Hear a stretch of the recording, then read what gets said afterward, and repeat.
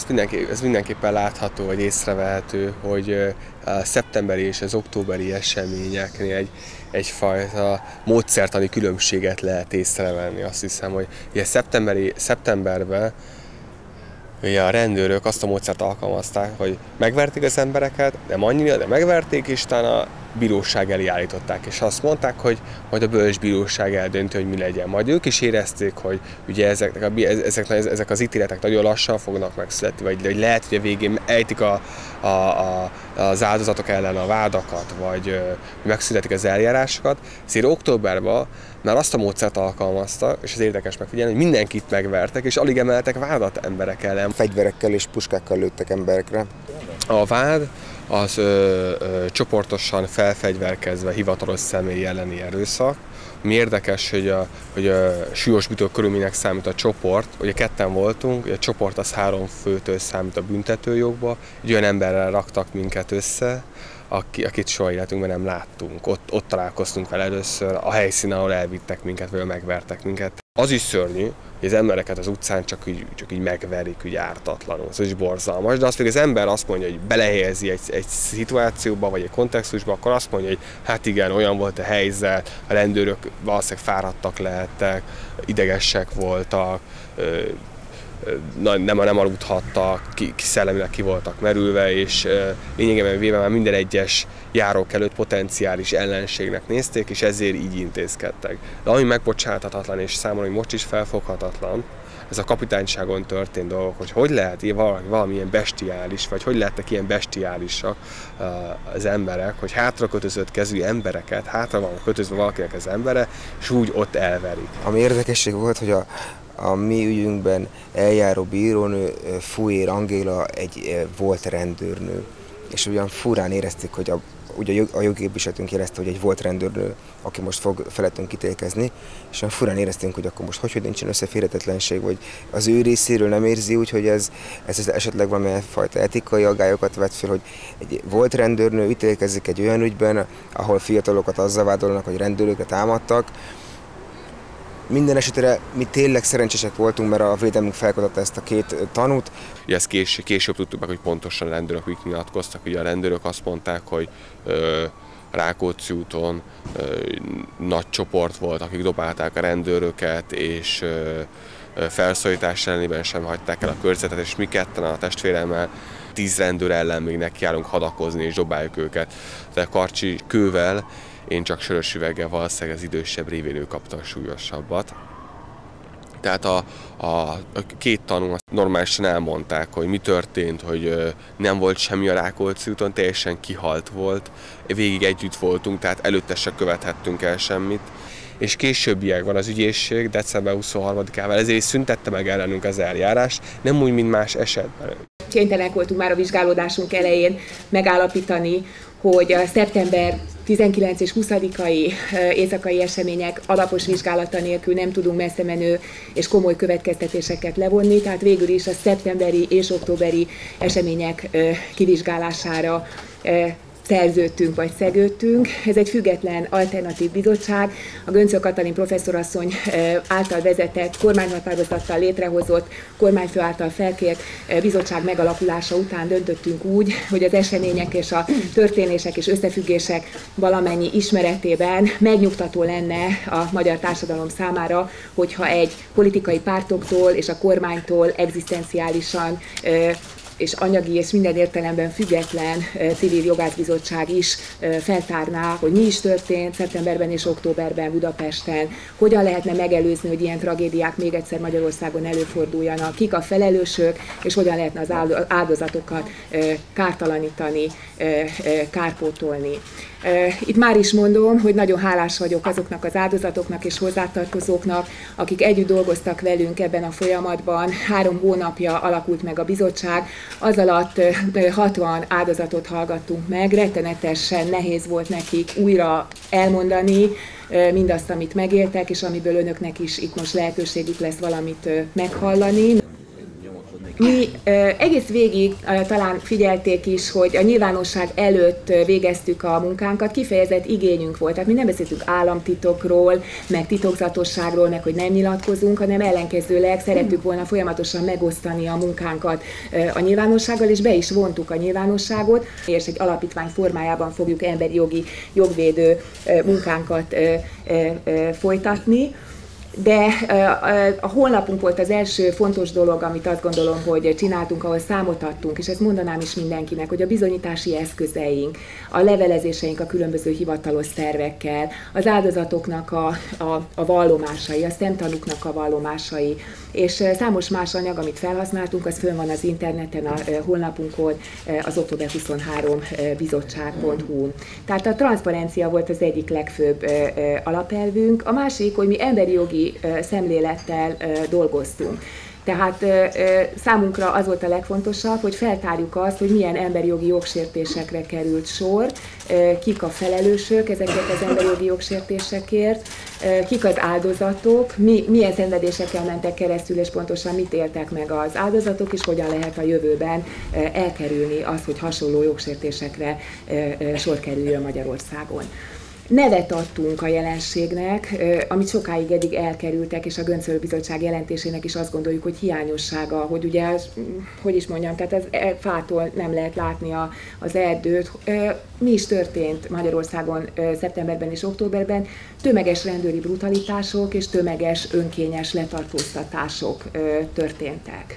Az események ugye szeptember 17-ével kezdődtek, a ominózus összödi beszédnek a nyilvánosságra kerülésével. Nincsen sok választás. Azért nincsen, mert elkurtuk. Nem kicsit, nagyon. Európában ilyen böszmeséget még ország nem csinált, mint amit mi csináltunk. Meg lehet magyarázni. Nyilvánvalóan végig hazudtuk az utolsó másfél-két évet. Teljesen világos volt, hogy amit mondunk, az nem igaz. Annyival vagyunk túl az ország lehetőségein, hogy azt, hogy azt mi azt nem tudtuk korábban elképzelni, hogy ezt a Magyar Szocialista Párt és a liberálisok közös kormányzása valaha is megteszi. És közben egyébként nem csináltunk semmit négy évig. Semmit. Nem tudtok mondani olyan jelentős kormányzati intézkedést, amire büszkék lehetünk azon túl, hogy a szarból visszahoztuk a kormányzást a végére. A szocialisták bizalma töretlen a miniszterelnökben, jelentette be Hiller István. A pártelnök az elmúlt 16 év hazugság spiráljával magyarázza Gyurcsány Ferenc beszédét. Hangsúlyozta, nem vonnak vissza egyetlen megszorító intézkedést sem, hanem végigviszik a reformokat, amelyek szerinte korszerű és modern Magyarországhoz vezetnek. Én bízom a képviselőimben, mi bízunk egymásban. A Magyar Szocialista Párt támogatja Gyurcsány Ferencet. Az MSZP támogatja azt a politikát, amelyet Magyarország miniszterelnöke visz. Az SZDSZ marad a koalícióban, a kormányfő nyilvánosságra került beszéde miatt kialakult helyzet nem befolyásolja az együttműködést, mondta Kunce Gábor a párt rendkívüli frakcióülése után. Én erre büszke vagyok, hogy a magyar baloldal, ez a kormány az én vezetésemmel ezt a fordulatot megteszi, hogy szembenéz ezzel. Hát az, hogy valahogy napvilágra került, az, hogy ő el is mondja, a választások után, zárt körben. Majd utána hirtelen azt mondja, hogy tulajdonképpen én ezt vállalom, amikor kiderül, az nem egy beismerés, az egy rajtakapás, de egy olyan főbejáró bűnben, ami tulajdonképpen egy, egy, egy alkotmányos demokráciában még minősíteni se lehet, mert az alkotmány összes létező alapját megszegi. Itt nem a választási ígéretek megtartásáról van szó. Olyan, hogy, hogy meghamisítom a, azokat a számokat, költségvetési számokat, a, a hitelfelvételekre vonatkozó, tehát az adósságszintet, stb. stb.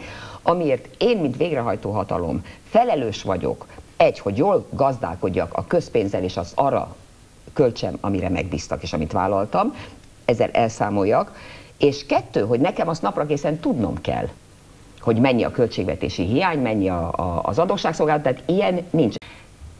Amikor 98-ban átvette az Orbán kormány, ugyanúgy, mint a Horn kormány, minden évben megmutatta pontosan, hogy hol tartanak az ígéretekkel, az ország fenntartható növekedési pályán maradt, tehát a hazugság Magyarországon a rendszerváltás óta nem 16 évvel ezelőtt, hanem 4 és 4 évvel ezelőtt volt a Szerintem erre büszkének kell lenni, nem pedig lemondani. Ezt végig kell csinálni, meg kell küldeni, az ország többsége meg is fogja érteni. Jó, tehát akkor itt most, aki eddig uh, pedzegette politikai ellenfelei közül az ön lemondását, vagy annak lehetőségét, azoknak most itt kijelentheti, hogy nem fog lemondani? Határozottan amitől hát nagyon sokan felháborodtak. És hangsúlyozni kívánom, hogy a demokráciákban teljesen bevett, normális módon az emberi jogaikat gyakorolva megjelentek spontán módon több ezren a Kossuth téren, hogy tiltakozzanak a beszéd ellen. Itt már is egy pillanatra megállnék hangsúlyozni, hogy az a szlogen, amit kialakult az elmúlt hónapokban és abban az időszakban, hogy nem lehet kivinni a parlament falain kívülre a politikát, és ez milyen szörnyű dolog. Ez számunkra értelmezhetetlen. Egy demokráciában ilyen nincsen. Hát mindenkinek abszolút joga van ahhoz, hogy a közügyekben részt vegyen, hogy a közösség, a társadalom életért valamiféle felelősséget érezzen.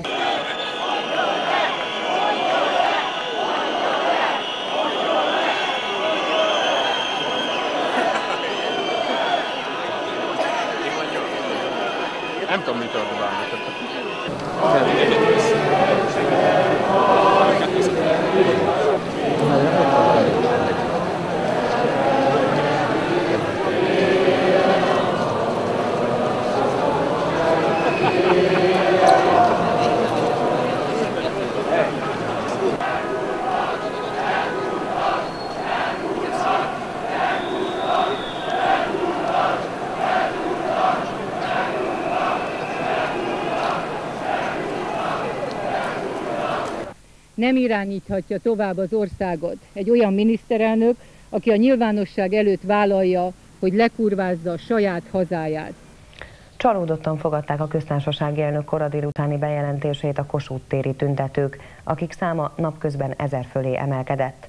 A Gyurcsány Ferenc lemondását követelők közül többen spontán beszédeket tartottak, amelyet közös skandálással szakítottak meg. A tiltakozók fél tizenkettőkor közfelkiáltással elfogadták azt a petíciót, amelyet Sólyom László államfőnek, illetve a parlament illetékesének szeretnének átnyújtani. Magukat Kossuth téri tüntetőknek nevezték el, és azt hangsúlyozzák, egyik párthoz sincs semmilyen közük. Sokan azt mondják, addig maradnak a Kossuth téren, amíg csak bírnak, dolgozni sem mennek. Valódi kormányváltást és nem látszat személycserét követelnek, illetve olyan ügyvezető kormányt az előrehozott választásokig, amely nem a jelenlegi kormány tagjaiból áll, hanem a magyar értelmiség adja a tagjait. Este 7 órára nagy gyűlést hirdettek. A Gyurcsány Ferenc hazugságait beismerő beszéd miatti tüntetésen a nemzetközi sajtó is jelen van. Ott gyülekeztek ezek az emberek, 18-án ismét. Akkor volt az ominózus MTV ostrom, ahol ugye néhány tucatnyi eh, kigyúrt kopaszt eh, alak, ahogy láttuk ott folyamatosan a televízióban, eh, hát erőszakos magatartást és garázda magatartást tanúsított. Úgy nevezzük ezt a jelenséget, hogy démonizáció, amelynek során mesterségesen, de nagyon tudatosan összemosták ezt az erőszakos garázda kis csoportot, mindazzal a sok, tíz, sok ezer, és később aztán 50 ezer, vagy még több emberrel, akik élve az emberi jogaikkal, a gyülekezési jogukkal tiltakoztak a Gyurcsány kormány ellen, leginkább ugye a Kossuth téren. Végig békésen, mindenféle különösebb atrocitás vagy erőszak nélkül. Ezeknek az embereknek a levadászására került sor elsősorban a következő napon, szeptember 19-én. Volt tárgyási szándék a tüntetők részéről, Kossuth téri tüntetők részéről, azonban a Göncö Bizottság jelentés egyértelműen tartalmazza, hogy a petíciót átadni kívánó delegációt a televízió székházából rendőrökkel eltávolítatták, és onnan kezdve mindenfajta kommunikáció megszakadta elégedetlen társadalmi rétegekkel szemben, és arról meg nem beszélve, hogy a embervadászatok, a hajnali embervadászatok, vagy éjszakai embervadászatok során, hát finoman szóval nem voltak tárgyalási pozícióban azok az áldozatok, akik inkább azzal foglalkoztak, hogy minél kisebb sérülésekkel és minél kisebb megrázkodtatással éljék túl az őket érő bántalmazásokat.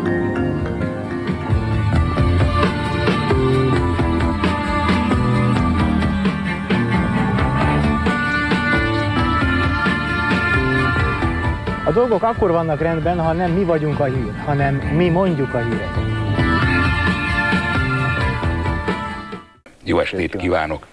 Sokan kérdezik, vádlólag, bizonyára olvastad, hallottad, politikusok és újságírók is, hogy miért nem vetted át azt a bizonyos petíciót, mert azt mondják, hogy ezzel megelőzhetted volna a rohamot. Erre kérnék szépen egy kimerítő választ. Lehet, hogy politikusok és újságírók ezt kérdezik. A nézők nem kérdezik ezt. Azok, akik látták a hétfő esti kett hajnali felvételeket, pontosan tudják, ahogy te is tudod, mindenki tudja, hogy nem petícióról szólt a hétfő este és a kett hajnal. Egyébként nem akarom megkerülni a kérdést, természetesen nem volt petíció, nem volt mit átvenni. Kossuth jöttünk, és a következő szeretnénk, A televízió, Magyar Televízió elnöke, ügyeletes vezetője, bárki belül tárgyalni. Különben Megkérem önöket, hogy fáradjanak ki, azonnal fogunk szólni mindenki. A... Megvárjuk itt, esik az eső, ugye? Van. Jó, egy pillanat türelmet kérem. Hát először is az 5 percünk van. Még 5 percet várunk. Na, hát. Jó, várunk. Holnap reggelig azért nem leszünk. Tehát ennyi időt már lehet. Menjen ki, legyen kedves, legyen kedves. Bemondom a Kossuth téren, hogy mind a tízezer ember jöjjön. Maradjatok. Senki nem Nem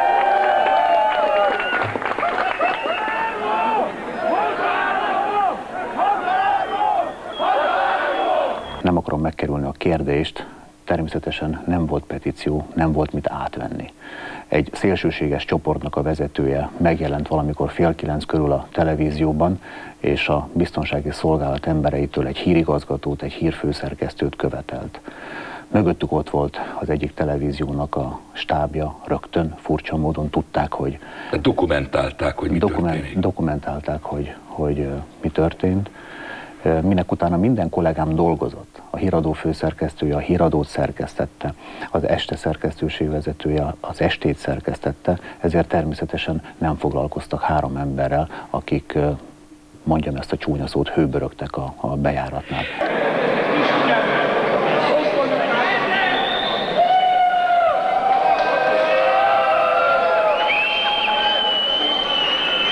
A magyar polgárok petícióját a magyar tévének. Nem tudom, hogy akkor átadhatom-e, vagy...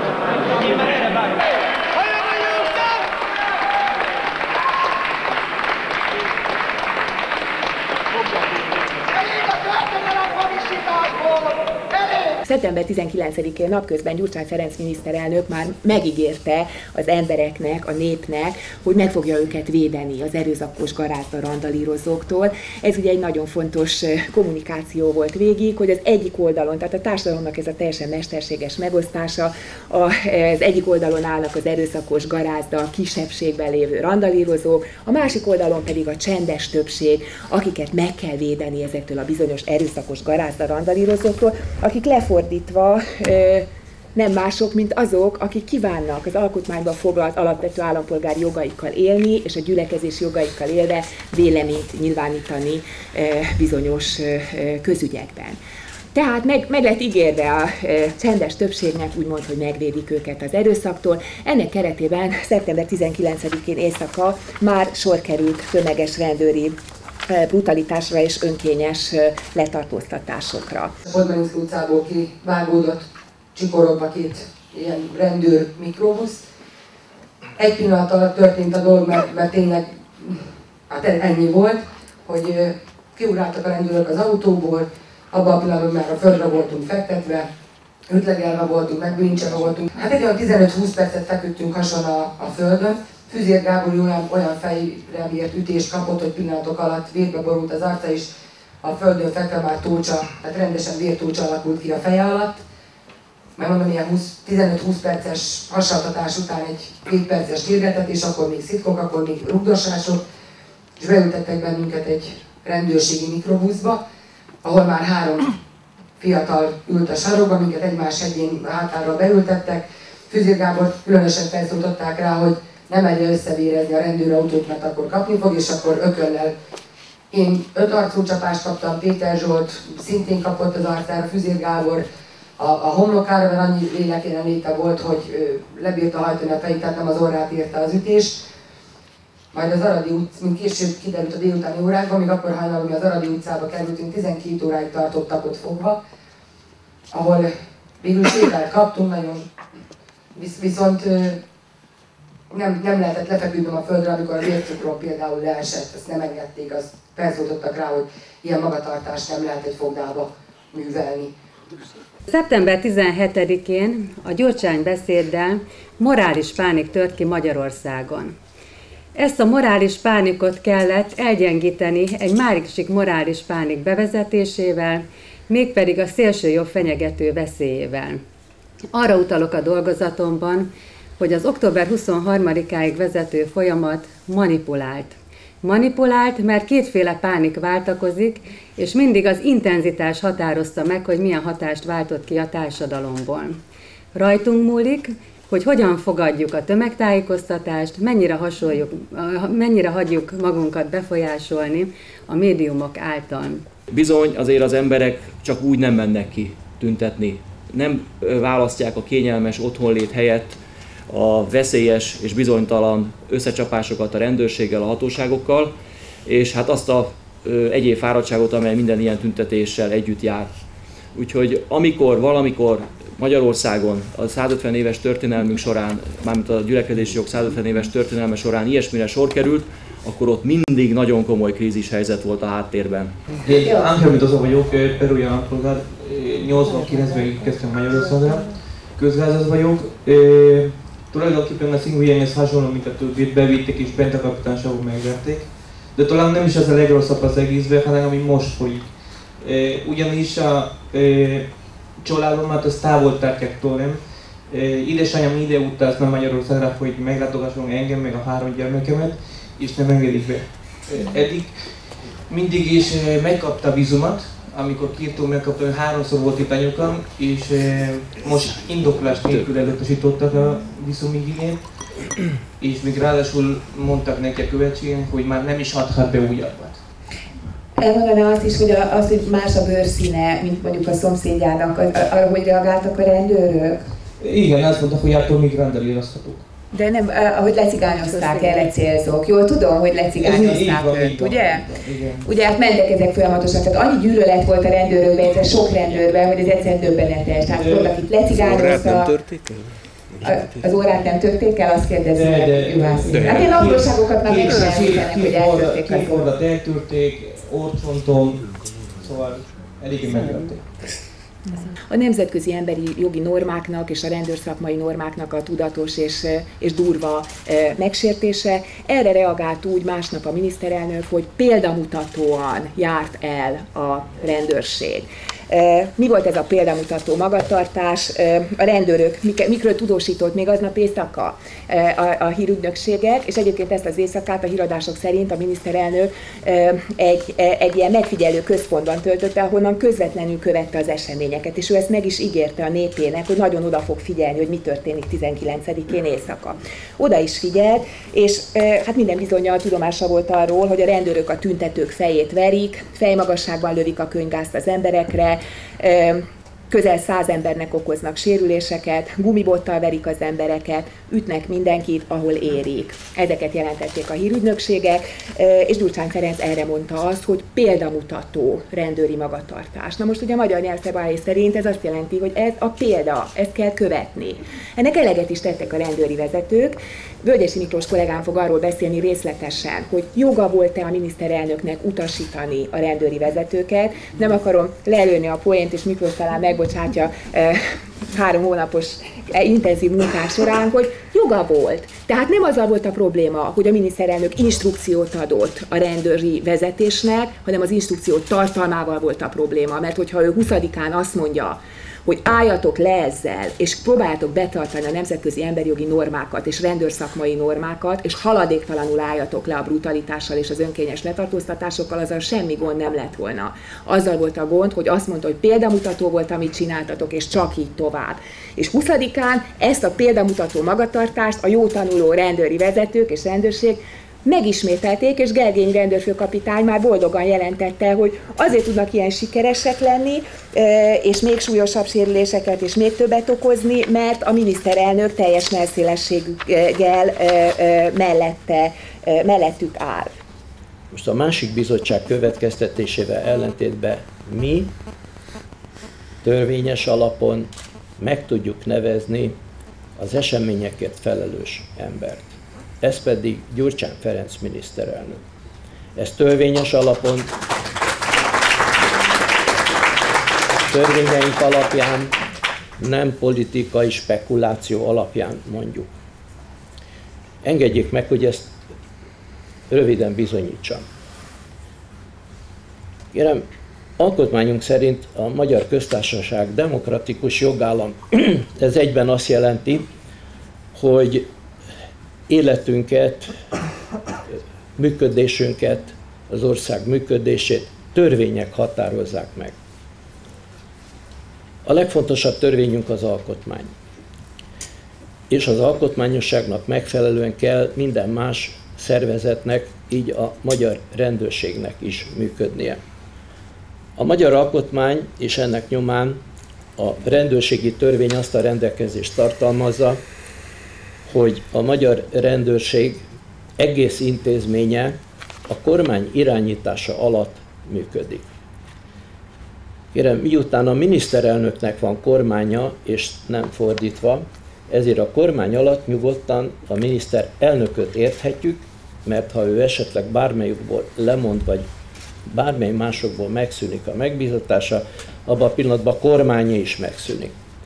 Vannak nagy fontosságú kérdések, és ide sorolandó feltétlenül az, ami történt múlt év őszén és szeptemberben és októberben, hogyha a rendőri erők csapaterővel végeznek tömegoszlatást, és ez akár százezereknek a sorsát és pillanatnyi élményeit befolyásolja, ez úgynevezett politikai felhatalmazásra, politikai döntésre van szükség. A jogszabályok nem hagynak kétséget abban a tekintetben, hogy az országos rendőrfőkapitánynak ilyen politikai döntéshozatali joga nincsen. Az országos rendőrfőkapitány csak a miniszterelnök, illetve hát a kormány által meghozott politikai döntést hajthatja végre, illetve köteles végrehajtani.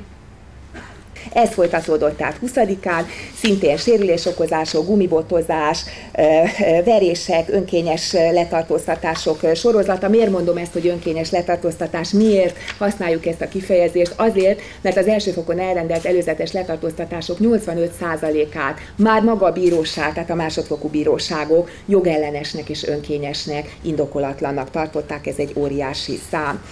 21-én a miniszterelnök úgy nyilatkozott a 20 éjszakai brutalitások után, hogy úgy látom, hogy a magyar rendvédelem erre a kihívásra képes a keddesti és a tegnapesti minőségben reagálni és a rendet tartósan fenntartani.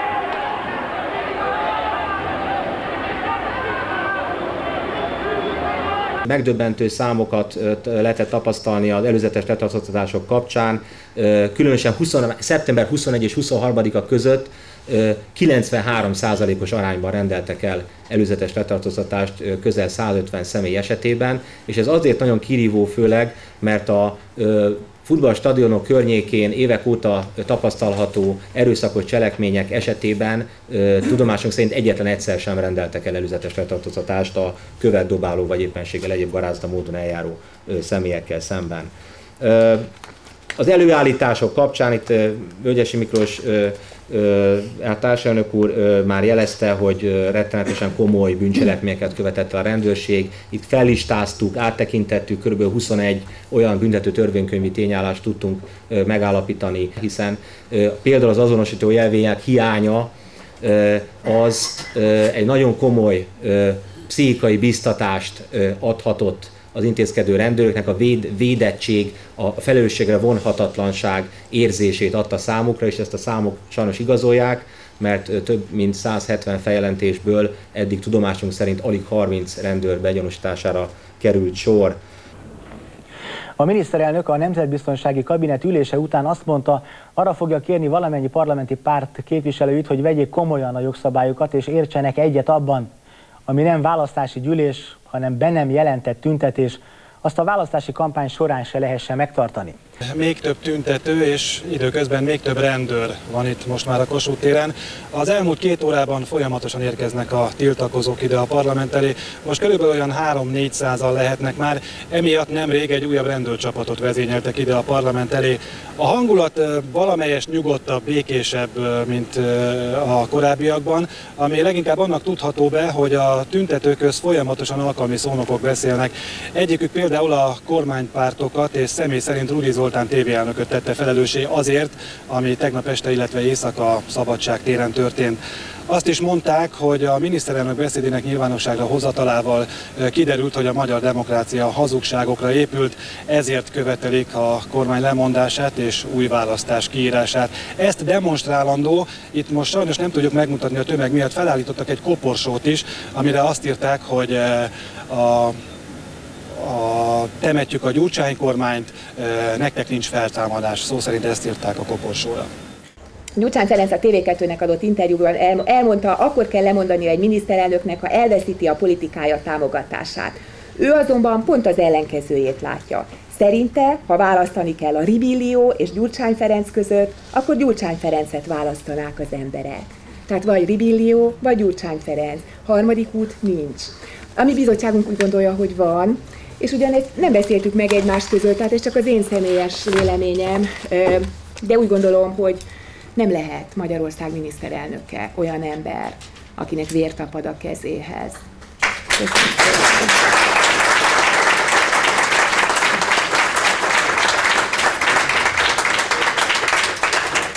21-én éjjel vittek el a rendőrök a nyugati térről, a bűnöm az kettős, ugyanis azt hittem, hogy át lehet kelni gyalogosan a nyugati téren, ez nem lehet. Másrészt pedig Ferencváros szurkol vagyok, ez azt hiszem még nagyobb bűn ma Magyarországon. Úgyhogy a zöld-fehér felső az nem volt a legjobb belépő a rendőröknél. Még ugyanilyen 12 fős rebizes kiemelő egység vert össze bizonyos mértékig és vitt el. Másnap Aznap este rendzavarással vádoltak, másnap reggel már csoportos garázdasággal, úgyhogy egyedül voltam, és egyedül is fogtak el. A kihallgatásomon nem volt semmi jogi képviselet, nem biztosított, nem tudtam telefonálni, a, meg, az, a szüleim által megbízott ügyvédet közönségesen elhajtották. Azt mondták, hogy takarodjon innen, és hogy úgyse fog minket megtalálni. Három napot volt a rendőrségi fogdában, aztán előzetes letartóztatásról szól, tárgyaláson pedig, hát tárgyaláson szól azon a bózaton három perces meghallgatás után. Annak ellenére, hogy a Hír TV felvételén nyilvánvalóan látszik, hogy elfognak, és az is, hogy nem csinál semmit, és hogy senki nem csinál semmit. Bírónő meg se nézte. A nyugati térnél újabb egységek csatlakoztak a rendőrökhöz.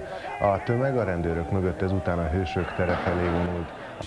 És uh, ismeretlen emberekkel, mint a Mártonőri János, azóta ismerem, tehát ilyen, ilyen srácokkal raktak egy csoportba, mindjárt heten vagy kilencen, nem tudom pontosan, átvittek a Nagy Ignác utcába, ahol hát, mint a többieknek kisebb kínzások az udvaron, aztán be a, be a folyosóra, hátulra a rugdosás, aztán be egy külön szobába, mesztelenre vetkőztetés, guggolás, engem meg is vertek, és utána tíz napot voltam előzetes letartóztatásban, köztörvényes bűnözők között egy cellában, és azóta pedig csoportosan és felfegyverkezve elkövetett hivatalos személy elleni erőszak megalapozott gyanújával föl nyomozás utána, és májusig hosszabbították meg a nyomozást.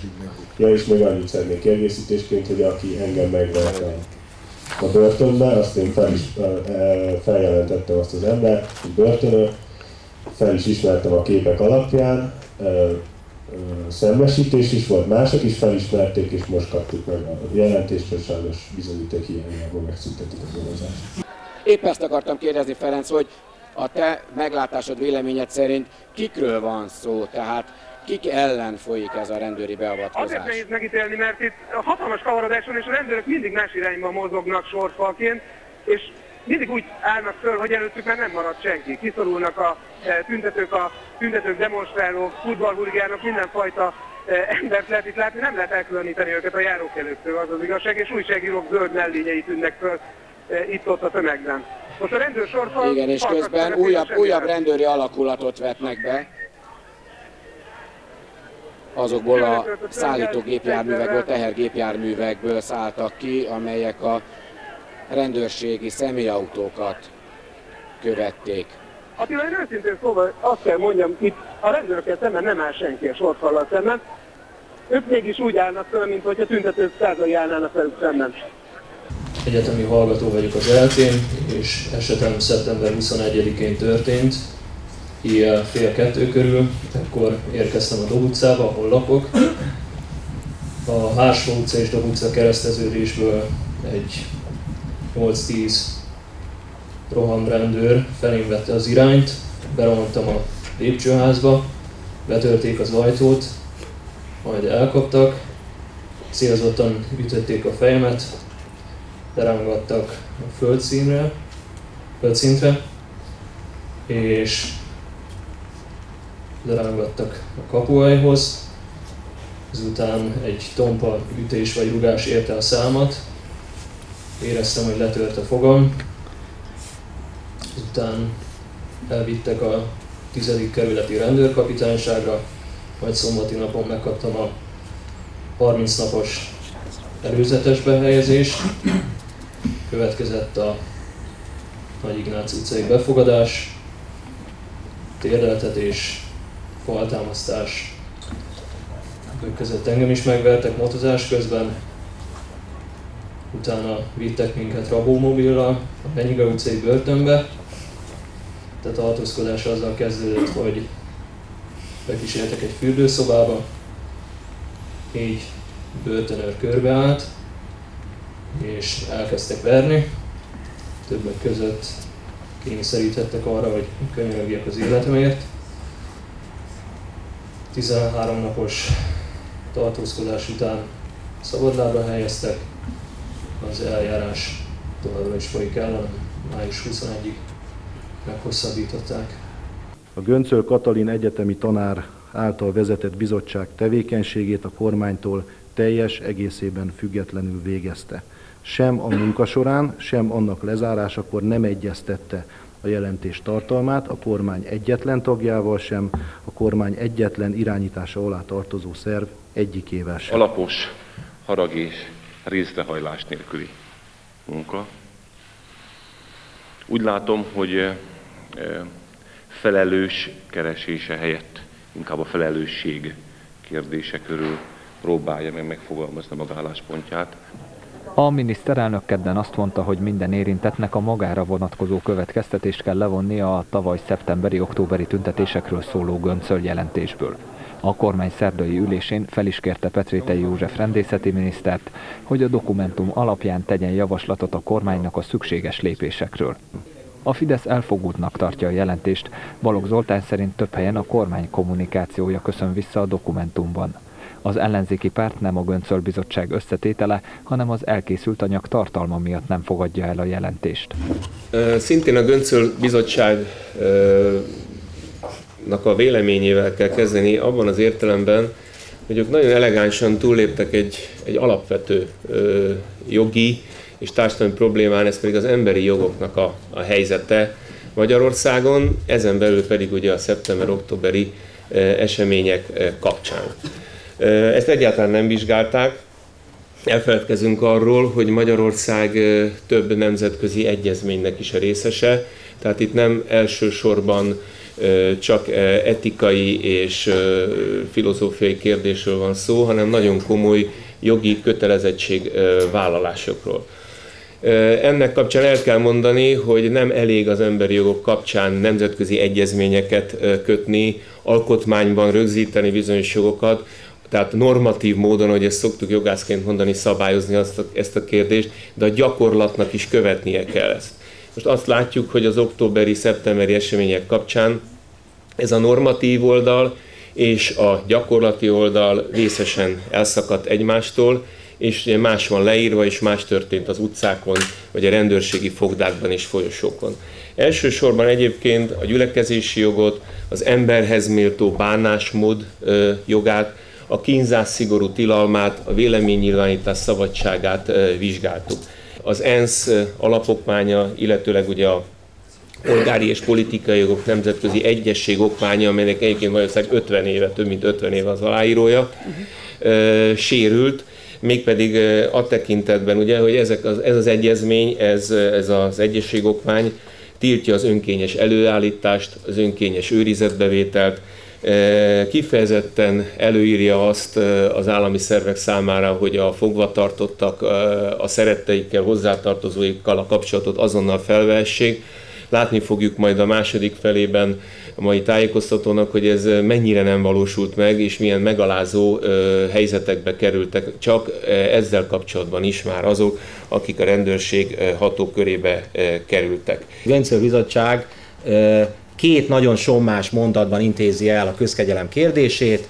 Azt mondja, hogy azért nem jöhet itt szóba a közkegyelem, mert itt erőszakos cselekmények voltak, és nem volt a felek között tárgyalás. A közkegyelem kérdése a 1990-es taxis, taxis blokkádhoz kapcsolódóan ö, ö, nyert ö, teret és törvényi szabályozást, mert mint ismert, ö, ott ö, tömeges ö, jogsértéseket követtek el a blokkádolók, súlyos bűncselekményeket, és ez teljes konszenzussal néhány hónap múlva egy törvényi formában mindenki számára közkegyelmet adtak. Erőszakos cselekmények igazolható módon nagyon csekély számban történtek olyan személyek részéről, akiket eljárás alá vontak. Tehát itt több tekintetben nem helytálló ez az érvelés, amit a Göncö Bizottság használt, hiszen nem mérhető a társadalomra veszélyességéből, társadalmi veszélyességi különbség a két cselekménynek. A taxisblokkád ide alatt több milliárdos kárt okoztak egy egész országnak, az, össze, az ország összes üzemé, közértekű üzemének működését megzavarták. E, itt az őszi események során néhány tucatra tehetőleg fel azok száma, akik valamilyen tevőleges erőszakos cselekményt foganatosítottak.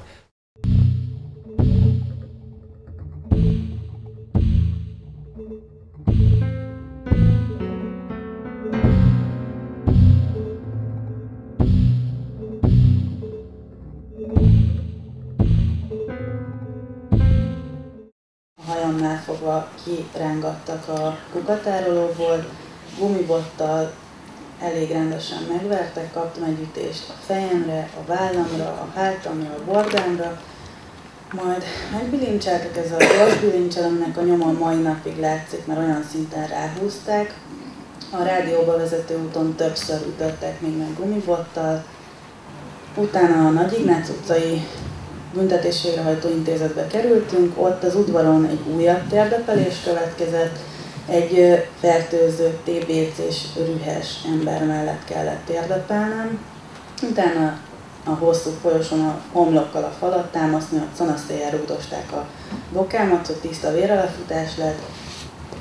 Az őrök azok egyszerűen arra mentek, hogy minél jobban kikészítsék idegileg és lelkileg az ember, tehát ez a sétáról felfele jövet kikapnak a sorból, és be a fürdőszobába mesztelenre vetkőzni, bugolgatni, tehát ez, ez mindig tanítani szoktam ezt a szörnyű Írország-Anglia ügyet, amelyben volt ez az öt technika, amelyet ugye a rendőrség alkalmazott északi terroristákkal kapcsolatban, és azt hittem, hogy ezt a rendőrök nem ismerik. Hála Isten, ezek szerint ismerik. Tehát gyakorolják azt, amit mi az egyetemen szoktunk okítani, hogy így nem szabad viselkedni, valamilyen brosúrában számukra úgy látszik mégis úgy szerepel, hogy lehet ilyen magatartást tanúsítani. Rendkívül nehéz ez bizonyítani, tehát nyilvánvalóan vannak, én is interneten néztem, meg kaptam különböző anyagokat, amelyekben a fogvatartottak mondták, hogy terpezbe kellett állni, meg az órukkal kellett támasztani a vakolatot, hogy le ne essen. Sok minden történt velük, sőt időnként még fizikailag is bántalmazták őket. De ugye ezt nagyon nehéz bizonyítani. Most erre van éppen az az északír ügy, vagy az ír ügy kapcsán van egy nagyszerű megoldás, hogy megfordul a bizonyítási teher. Tehát az állam képviselőinek, tehát nyilvánvalóan a rendőrségnek kellene kimenteni a felelősségüket ilyen esetekben. Tehát elég, hogyha valaki arra hivatkozik, hogy őt bántalmazták, az állam kötelezettség olyan fogvatartási körülményeket teremteni, hogy ilyen ne forduljon elő, és neki kell megmagyarázni, hogy mégis előfordulhatott ilyen. Tehát az én alapproblémám persze az volt vele, hogy eh, ugye jogszabály az éppen az ellenkezőt írja elő. Tehát azt írja elő, hogy tessék emberségesen bánni a fogvatartottakkal, arra ugye nincsen szabály, hogy terpezbe kell állni. Tehát az ember elolvasgatja a büntetés végrehajtási szabályzatot, vagy a rendőrségi fogdaszabályzatot, akkor úgy elcsodálkozik, ilyen nincsen. Sem az órocskát nem kell oda tenni, sem terpezben sem kell állni. Azt hiszem, hogy csukját nem alkalmaztak, mert az a rendőrségnél úgy látszik foglalt volt. 141-re nőtt azoknak a száma, akiket azért helyeztek előzetes letartóztatásba, mert a gyanú szerint részt vettek a fővárosi zavargásokban. Ma újabb 14 emberrel szemben rendelte el ezt a bíróság, ezt a kényszerintézkedést. A többség hivatalos személy elleni erőszak és garázdaság miatt került előzetes letartóztatásba. Az országosan körözött Budaházi György viszont tegnap már másodszor beszélhetett úgy a Kossuth téren, hogy a rendőrök elfogták volna. A BRFK szerint ennek taktikai okai vannak. Azt is szoktam tanítgatni, mert a hallgatók érdeklődnek néha, hogy, hogy van itt ügyészségi törvényességi felügyelet. És akkor most felteszem a kérdést, hogy hol van. Mert sem a rendőrségnek a tömegoszlatással kapcsolatos, nagyon attraktív működése, sem pedig ezek a különböző fogvatartó helyeken megtörtént események nem érték el azt az inger küszöböt, hogy az ügyészség ebben vizsgálatot folytasson. Tehát eh, nekem ez hiányzik. Ugye ez egy eh, jogintézmény, amelynek jó lenne, ha működne. Nem kell jogszabályt módosítani hozzá, csak kellene, hogy működjön. A, erről a kábel kötegelős bilincsről el kell mondani, a, mivel az én kezemet is megkötözték és túlhúzták, hogy ez egy ilyen fogazott műanyag szívbilincs, gyors bilincs, ami amit csak késsel tudtak levágni. Tehát ezt nem lehet a vas segédes eszköz nélkül levágni. Rendőrség szolgálati szabályzatában kifejezetten azt írja, hogy vékony húzal és ilyen műanyag szallag bilincselésre nem alkalmazható. Tilos, kifejezetten tilos. Hol élünk? Igen, hát igen, ez egy ilyen ország, és minden jel szerint egyelőre következmények nélküli. Hát elő vagy utóbb ennek is el kellene következnie. Hát arról már nem is beszélve, hogy mindezt hasonfekve, hátra csavart helyzet kézbe, amelyről egyébként arra ugyancsak a szolgálati szabályzat azt állapítja meg, hogy, hogy ez az emberi méltóság megalázásának felel meg.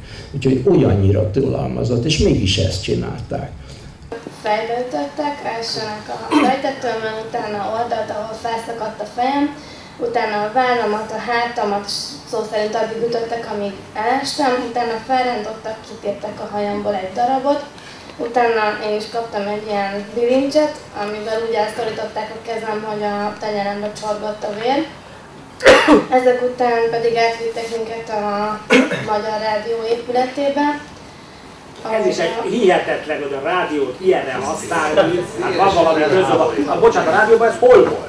Melyik az udvarán. Az udvarán. ott órákig térdepeltettek minket, közben rúdostak, akkor volt az ominózus eset, hogy ezt a szerencsétlen fiút mellettem kb. két méterre agyonverték. Ott szóltam egy rendőrnek, hogy nagyon vérzik a fejem, mert ők maguktól ezt így nem kérdezték meg mi a probléma, mondták, hogy egy óra, két óra múlva jön értem a mentőautó, mert négy óra múlva meg is érkezett értem. Akkor már a 8. kerületi rendőrfőkapitányságról vittek el engem a rend, vagy a mentőautóba, konkrétan mind a két kezemet kikötötték. Úgy mentem, össze-vissza rázkodtam, mikor megérkeztem a kórházba, akkor leborotváltak a hajamból egy darabot, amit egy rendőr bíztatta a nővért, hogy minél többet borotváljon le, le belőle. Ezek után közölték velem, hogy injekciót fogok kapni, és hogy vegyem le a nadrágomat és dőljek előre. Ezen körülbelül 7-8 rendőr ragott, hogy én így ilyen helyzetben vagyok. Utána elvittek koponyacétéren, ami többe áll Istennek a fejem. Utána visszakerültem fogdára, nagyon rossz körülmények között voltunk.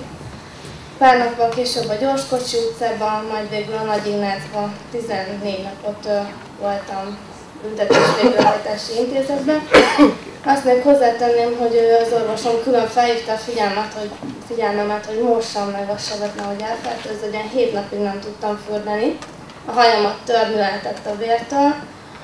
És hogy emlékeztessek, hogy mit nyilatkozott miniszterelnök úr erre a két napra vonatkozóan.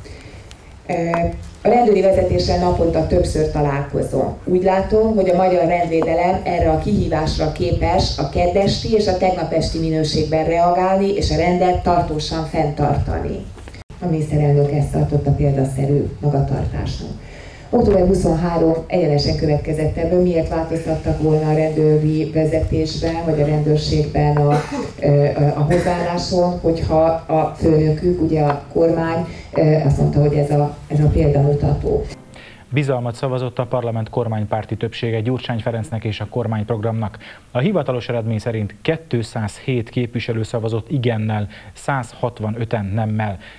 Gyurcsány Ferenc is maga mellett szavazott. Elkezdődött október 23, ugye lezárták a, a, a, a Kossuth teret az ismert körülmények között. Itt is a gyülekezési jog kapcsán is az emberi jogok egyezményét sértette a rendőrség, illetőleg hát ugye a felelősség tekintetében már Morvai Krisztina elmondta, nyilvánvalóan végsősorban a kormány ezeket az egyezményeket. Tudnélik, már a Kossuth tér megtisztítása 23-án hajnalban arra még talán azt lehet mondani, hogy bizonyos biztonsági szempontok lehet, hogy indokolták, hogy a téren esetleg ne legyenek valóban olyan eszközök, amelyek a vendégekre netán veszélyt okozhatnak, de azt már semmi nem indokolta hogy a megtisztított térre az ünnepelni vágyókat ne engedje vissza a rendőrség. Ebből lett ugyanis utána a probléma.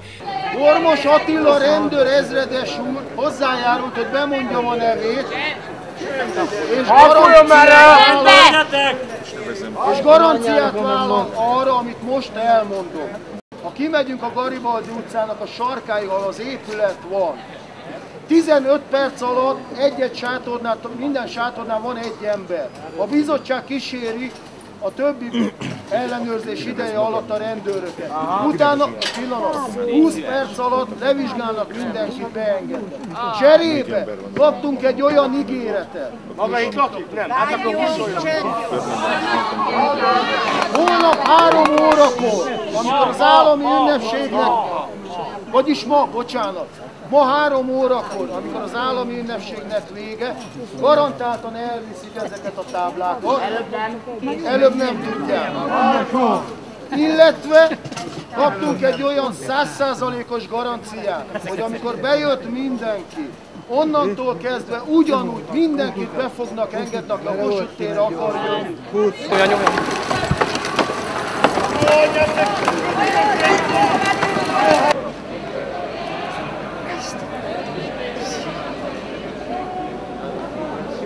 Már a tűzszerészeti átvizsgás után nem tudnak visszajönni, viszont a, az alkotmányozó nemzetgyűlés holnap délután ugyanúgy meg lesz tartva. Tehát addigra visszakapják a területet. Tehát arra jöjjenek vissza arra a nemzetgyűlés, az nem tudom hánykor lesz délután. Délután hát délben. vissza csak. Igen, most nekem ezt mondták, hogy fölösleges itt várakozniuk, mert ma reggel már nem lehet ide visszajönni. De reggel az 9 Nem tudok semmi, ennyi információ van is. Hajnali 3.43-kor kezdték meg a néhány száz demonstráló kiszorítását a rohamrendőrök, miután a szervezők többszöri felszólítására sem hagyta el mindenki a Kossuth teret. A távirati iroda tudósítója szerint az akcióban 2000 rohamsisakos, védőpajzsal felszerelt rendőr vett részt. A rendőrség reggelre teljesen megtisztította és hermetikusan lezárta a Kossuth teret, amelyet kettős fémkordonnal vettek körbe. A magyar történelmi zászlók mellett annak a 47 országnak a zászlóit is felvonultatták a Kossuth téren, amelyek képviseltették magukat az 1956-os forradalom 50. évfordulóján. A meghívottak között királyok és hercegek is voltak. A külföldi vendégeken és az előre akreditált újságírókon kívül mást nem engedtek be a parlament előtti térre. A rendőrök a Lánchíd és a Nagykörút irányába próbálták meg kiszorítani a miniszterelnök lemondását követelő demonstrálókat, így ők nem láthatták a köztársaság lobogójának ünnepélyes felvonását.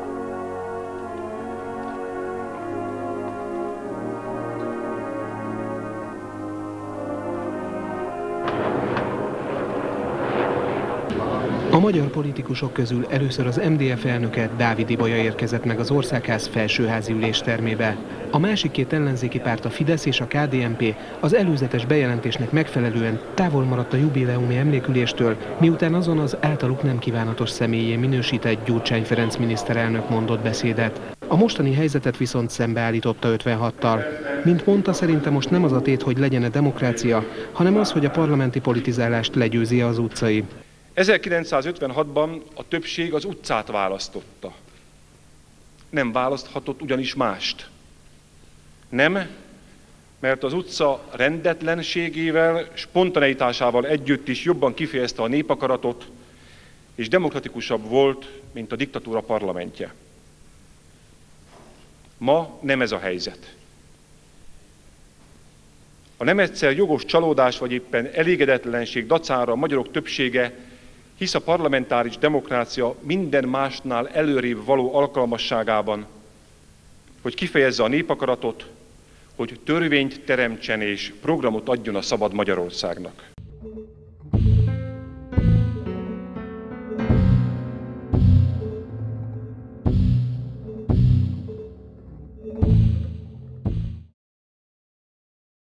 Mert nem csak azok szerettek volna oda visszamenni, az a pár száz ember, akit ott éjszaka kiszorítottak, hanem sokan vidékről érkeztek, és a Kossuth téren szerették volna az 56-os szabadságharc és forradalom 50. évfordulóját ünnepelni.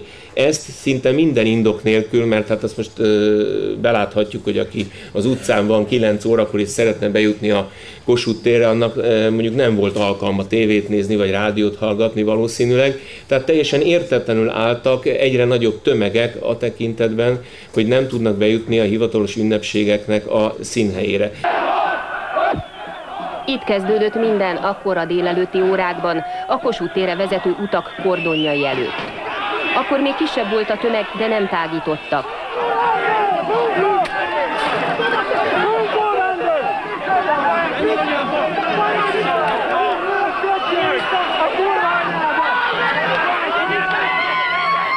Kis idő múlva elindultak a környező utcákon egészen a Roosevelt térig. A Corvin közlett a következő útirány, egyre többen lettek. Itt megvárták Wittner Mária hivatalosan egyébként is ide tervezett felszólalását. De a megemlékezés további részére a jelek szerint nem voltak kíváncsiak. A Kossuth tér lett a következő cél, mondván azt vissza kell foglalni. Az odavezető utakon dudáltak, fütyültek, Nyújtsány Ferenc és a kormány lemondását követelték. Az első kordonnál megindult az akció. Az Alkotmány utcában hamar felsorakoztak a rendőrök, és onnan kiszorították a tüntetőket. A Bajcsi Zsilinszki úton viszont ketté vált a tömeg. A BKV járműveivel torlaszokat állítottak. A rendőrök vízágyút és gázlövedéket használtak. A torlasz mellett azonban többen támadásra alkalmas eszközt kerestek és találtak. Használták is. Ráadásul a Kossuth tér azért ne felejtsük el, abban is emblematikus, hogy ott van többek között az a fákja, ami éppen az 56-os szabadságharcra emlékezik, és minden nap ott lobog. Tehát itt nem csak egyszerűen egy térről van szó, hanem egy emblematikus területről. Délután a tüntetők a kiállított tankot is elfoglalták a belvárosban. A T-34-es típusú szovjet harci jármű díszlet volt az 56-os élőképekhez. Meg nem erősített hírek szerint egy 56-os veterán indította be. A rendőrök könygázgránáttal lőtték a T-34-est. A rendőri szervek ki kell mondani, tulajdonképpen maguk állították elő azt a problémát, ami egész 23-án aztán végighúzódott, hiszen Nyilvánvalóan többször megpróbáltak az emberek a Kossuth térre bejutni, ebből adódott aztán az a ö, folyamat, amely ugye az Alkotmány utcából kiindulva vezetett ö, ahhoz, hogy a kifejezetten békés célú ünnepi megemlékezés, nem szeretném, hogyha bárki is erre ugye a Fidesz tüntetés kifejezést használná. Ez egy ünnepi megemlékezés volt, és ugye sikeresen elérte a rendőrség délutánra, hogy összekeveredjen a agresszívnak tekinthető mag, és ez a több tízezes vagy százezeres tömeg a városban. Tehát ugye van egy olyan alapvető jogi elv, hogy saját felroható magatartására előnyök szerzése véget senki sem hivatkozhat, tehát körülbelül most így néz ki a rendőrségnek az álláspontja ezekkel kapcsolatban. Ő állította elő tulajdonképpen a problémát, amit aztán a maga sajátos eszközeivel, nemzetközi egyezmények és magyar törvények megsértésével úgymond megold az Alkotmánybíróságunk több ízben kimondotta, hogy a hatóságoknak, az állami szerveknek nem csak biztosítani kell a gyülekezési jogot, hanem kifejezetten védeni is kell ezt a jogosítványt. Olyan körülményeket kell teremteni, hogy aki békés célral szeretne gyülekezni, az ennek a jogának eleget is tudjon tenni. A miniszterelnök személyes felelősségét emelte ki az Európai Néppárt elnöke a Fidesz 1956-os megemlékezésén az Asztóriánál. Wilfried Martens, aki 1956-ban maga is tüntetett Brüsszelben Magyarország szovjet megszállása ellen, párhuzamot vont az 50 évvel ezelőtt történtek és a jelenlegi magyarországi helyzet között. A politikus azt mondta, a kommunista rezsim ugyanúgy eltitkolta az igazságot az emberek elől, mint a Gyurcsány kormány. Ezért szerinte az 56-os felkelőket is a bizalomvesztés vezérelte. Ezért holnap népszavazási kezdeményezéseket nyújtunk be. Igen, ügydöntő népszavazási kezdeményezéseket nyújtunk be a tanügy, az egészségügy, a nyugdíjak, a termőföld és a demokratikus garanciák kérdésében. Ezzel kiköszörülhetjük a magyar demokrácián esett csorbát, és eldől a hazugságokra épülő kormányzás sorsa is. Én már sok mindent láttam, de amit tegnap a televízió produkált, mindenki csetten ilyenkor egy kicsit. Ha átment a közszolgálati csatornákra este 10 óra előtt, akkor a következőt látta. Délután 6 után. Az egyik oldalon, tehát itt nem két Magyarország van, két teljesen, mint a két ország lenne, két univerzum. Kedves vendégeink, felkérem minden kedves vendégünket az emlékezés virágainak elhelyezésére.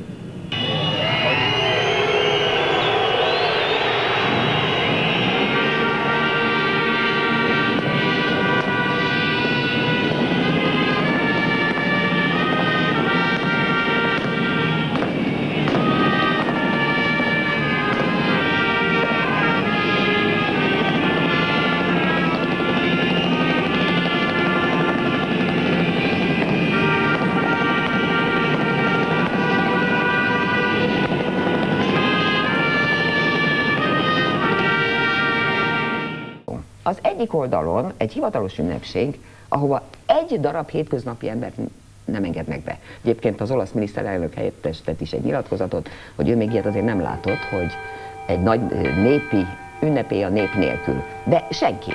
És átmegy a másik csatornára, és azt látja, hogy nem csak, hogy ott, oda nem engednek be egy hétköznapi ember, tehát a, ahogy mondják, ez ugye az ordinary people angol azt jelenti a mi, tehát a normál emberek. Nem csak, hogy ott nincs benne egy darab se, hanem még a kb. 500-800 méteren távolabbi utcákból is kardlappal, gumigolyókkal, vízágyúval és különösen csípős paprika, ugye ez lehet egy magyar, magyar sajátos találmány, paprika, könyvgázbombával kergetik el azokat, akik mint Magyarország lakosságának többsége úgy gondolta, hogy október 23-a az ő ünnepe, kimehet akár a Kossuth térre, ahol a dolog kezdődött, teljesen elkülönült a hatalomvilága, ahova nem engednek be senkit, és egészen másút van a hétköznapi emberek világa, akiket tegnap speciál, manu militari, és abszolút elfogadhatatlan módon, és ez nem a rendőrség hibája. Természetesen itt valakik megszervezték, hogy milyen típusú, de nem akarok belemenni, mert erről már beszéltek, kikergetnek a saját városukból. Utána még azt is hallhatják, hogy a miniszterelnök, mondjuk ilyenkor bocsánatot illik kérni, rendben van, ezt már megszoktuk.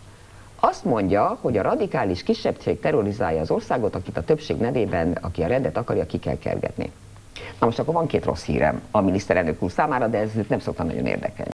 A demokráciában egyetlen egy lépés nem jött másképp, mint az utcáról egy kisebbség felvállalt azt, hogy problémát csinál belőle, megszervezi magát, és vállalja akárhogy belelőnek. Na most ez nem legitimálja, hogy tegnap nyugodtan tüntető, vagy nyugodtan sétáló, vagy nyugodtan ünnepelni készülő embereket, hát... Amikor vége volt a ünnepében, és a két himnusz elhangzott, akkor ez csak pillanatokon belül, de tényleg pillanatokon belül egy olyan eszméletlen rendőri támadás indult meg, ami ami egyszerűen érthetetlen volt számomra, nem csak én, hanem akik ott előálltunk.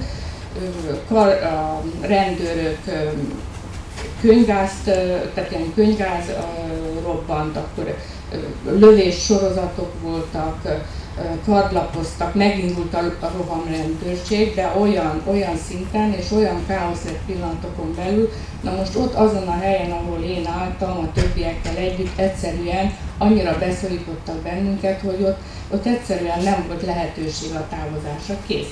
Teljesen be voltunk szorítva, és közben az emberek jajgattak, kiabáltak, estek el, láttuk, hogy, hogy véres fejjel rohannak minden az égvilágon. Most én eleve ott voltam egy, egy kapuhajnál, hogy neki tudtam támaszkodni, mert sokáig nem tudok állni, és tehát egyszerűen, hogyha nem is tudom, hogy mi lett volna, ha nem tudunk bemenni a, az egyik háznak a, az udvarába, és ö, olyan, olyan borzasztó könygáz volt, hogy egyszerűen, majd meg, én is majd megfulladtam, nem csak én, aki ott voltunk, most legalább 60-70-en voltunk bent az udvarba, és hát akkor itt fölvetődik az a kérdés, hogy ugye azt mondta Gergény úr, és a médiában reggeltől estig azt lehetett hallani, ugye, hogy mindenki nyugodtan hazamehetett, aki haza akart menni, és aki ott akart maradni, ugye az ott maradt, és az a csőcselék. Hát azért én itt most szeretném elmondani és kikérni nem csak a saját nevembe, a barátaim, ismerőseim és azoknak a nevében, akik nincsenek itt jelen, de mégis ott voltak hogy hát azért elnézést kérek, hát hogy lehet ilyet mondani, hogy csőcselék? Hát akkor 56-ban is, akik kint voltak, azok is csőcselékek? A, a, tehát ez egyszerűen, egyszerűen abszurdum, tehát onnan eljönni nem lehetett, és ott töltöttem a fél éjszakámat. Köszönöm, akkor a következő tanút kérjük. Bulcár István vagyok, korábban válogatott ötkösázó. Tehát a filmmúzeumnál ért már a, a himnuszot, mi azt elénekeltük, és úgy indultam hazafelé, a, gondoltam, hogy metró vagy valami. És a Valás téren állok a járda szélén, ott ezekre a kis korlátszerű, és hát ott fölsorakoztak a lovasrendőrök, a rohamrendőrök, a vízágyú, úgy szépen egymás mögött, és elindult arról a lovasról. De, de tényleg, mint egy kombány, mikor a, a kabonatáblára megy, ott, ott feküdt mindenki utána. És ezt, ezt néztem, és ugye el voltam csodálkozva, és közben elindultak a, a rohamrendőrök is, ahonnan elfutottam még be a tér közepe felé. Közben ezeket néztem, hogy jönnek, nem jönnek, egy-kettő még jött utána, de aztán lemaradtak. Igen, nem csak figyelmetlen voltam, mert az árkádokról, a színház felől jött egy másik brigád, akik meg leveltek, amit már mindenki elmesélt. Összerugdostak, össze-visszavertek, eltört a, a, a szememből folyt a a fülemből eltört bordálni, támogat szépen, és olyan pocsék módon néztem ki hála a hírtévés uraknak, én most végig megvan az egész anyag.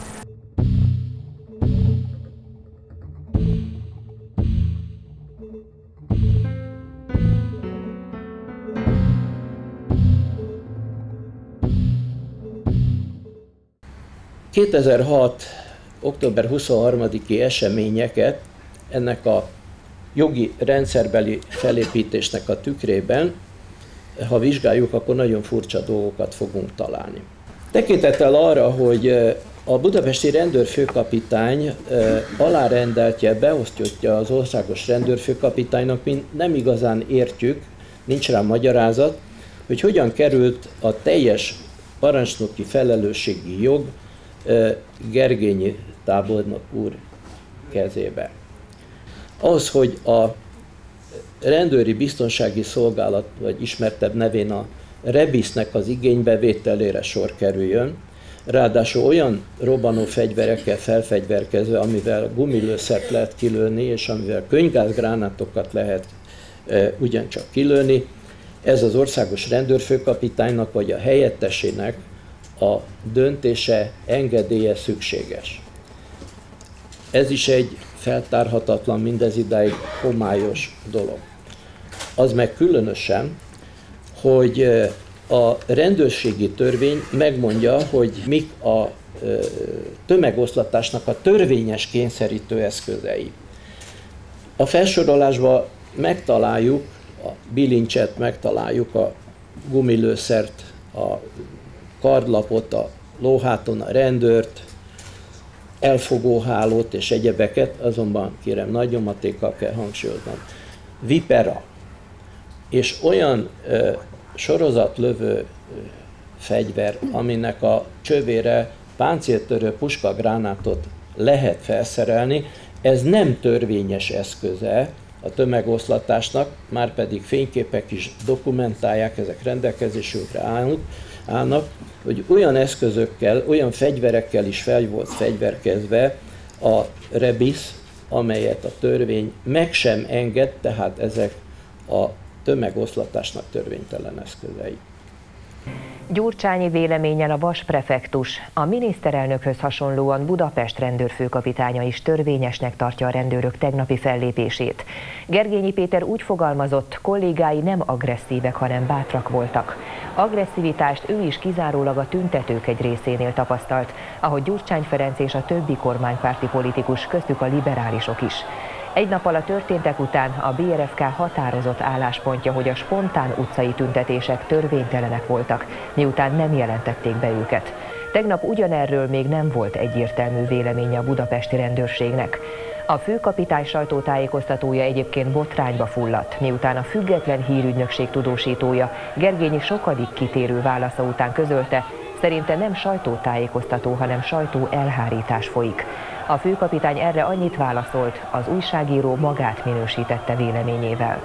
Azért, hogy én kimondtam a feloszlatást, azért én vagyok a felelős. Én adtam parancsot, és én engedélyeztem a kényszerítő eszközöket. Miután megtámadtak minket, hát gondoljon bele, azért ön megy az utcán, mondjuk ön egy békés rendőr, és jön szembe egy tank, és el akarja önt kaposni. 2006-ban. De azért az nem semmi ám. Köszönöm szépen. Bocsánat, a kérdés még ugyanaz, hogy felmerült-e bármilyen szinten az ön lemondásának kérdése? Én? Miért? A rendőrségnél nem rendszeresített összecsukható olmosbotot, úgynevezett viperát is használt több rendőr tegnap este a tüntetők feloszlatásánál. Erről televíziós felvételek is készültek.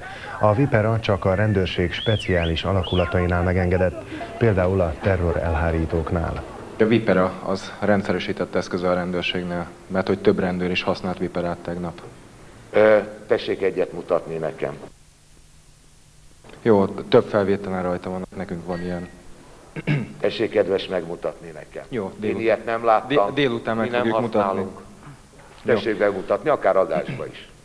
Hogy én október 23-án ez a könyvásztámadástól menekülve jutottam el a Károly körúton a Doboca sarkáig, ahol a felismerhetetlen, ugye maszkos, gyakorlóruhás, sisakos emberesek, embereket találkoztam. Amikor kb. 5 méterre értem tőlük, akkor mondtam, hogy én szeretnék hazajutni. Az egyik mondta, hogy hagyjam el a területet. Megfordultam, és a következő pillanatban már csak azt éreztem, hogy megmarkolnak és a földre tepernek. Kb. hatan álltak rajtam, és akkor cinikusan megjegyezte, hogy nem mozogjak. Nem volt nagyon nehéz betartani ezt a dolgot. Hátra csavarták a kezemet, körülbelül három percig próbálták ezzel a gyors kötöző bilincsel összekötözni a kezemet. Ez úgy látszik először nem sikerült, mert nem tudta, hogy melyik oldalon van a fogazott része. Utána a sikerélményen fölbuzdulva a bal kezem középső ujját fogta és eltörte.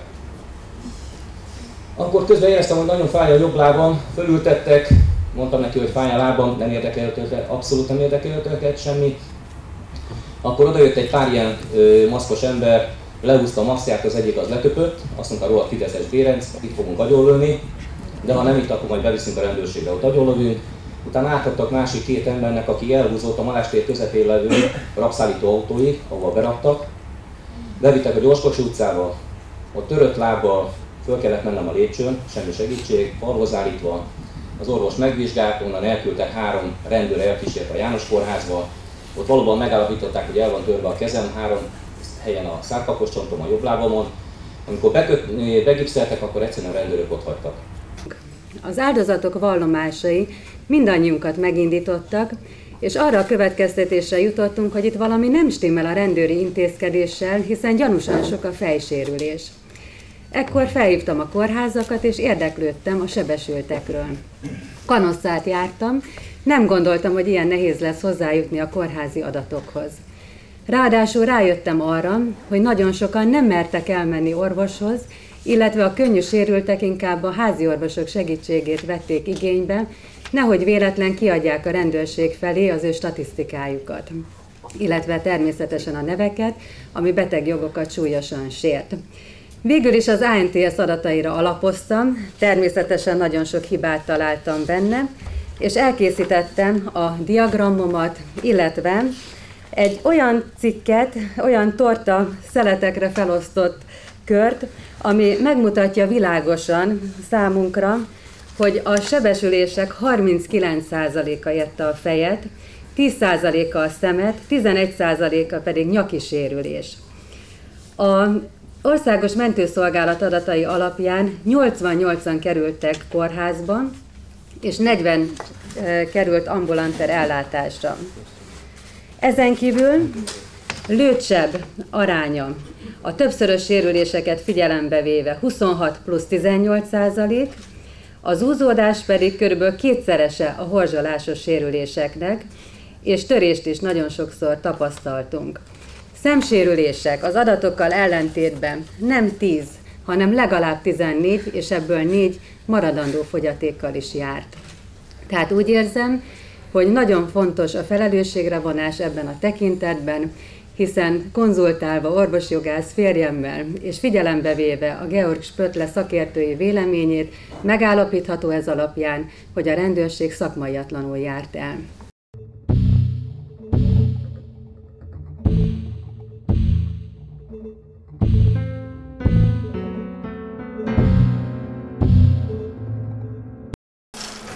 Körúton ültünk négy barátommal a Blaha ez már körúton van.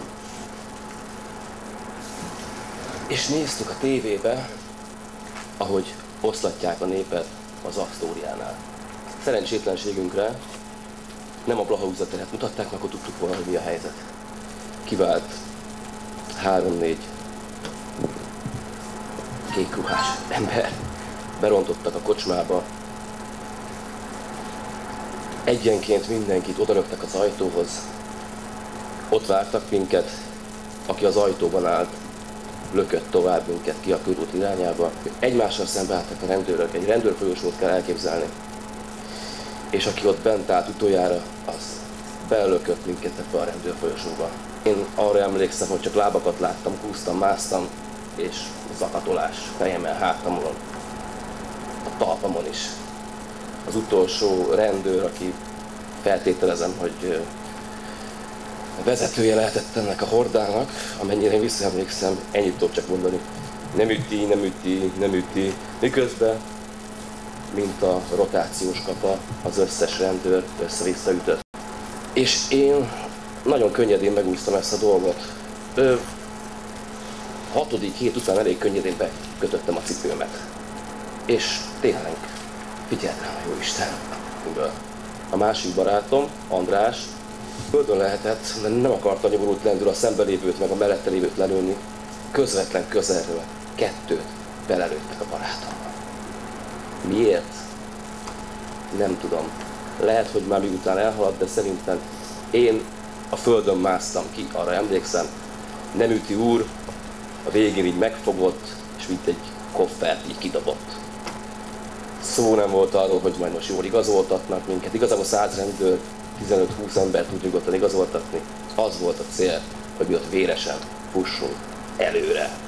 És én úgy érzem, hogy nem, nem csináltam semmit. Ártatlan vagyok. András, ne arra úgy, hogy felvettem a pólódat. Voltak kevésbé szerencsések. András barátom, megkérték ugyanis, hogy ne mondjam a nevüket. Ezen érdemes elgondolkozni. Hogy miért kérnek meg arra, hogy nem mondjam el, hogy hogy hívják őket. Ez Én a, szűcsapor vagyok. Ez a póló hol lett ilyen Ez a póló, ő, ő, ő, András pólója. Ez magyar adófizetők pénzéből vásárolt kincstári lőszer, ez egy sörétes fegyver. Ez itt nagyjából 11 pár töltény. Egy tenyérnyi felületen. Ez csak úgy lehetséges, ha valakit közvetlen közelről lelőnek. Másképp nem lehetséges ekkora felületen.